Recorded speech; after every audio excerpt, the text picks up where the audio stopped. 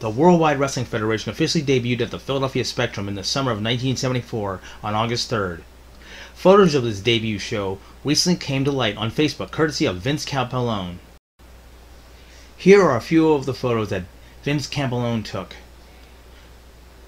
The third match, Luscious Johnny Valiant versus Bob Armstrong.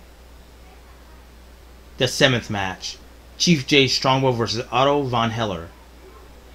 The eighth match, Victor Rivera versus Professor Toru Tanaka before the match.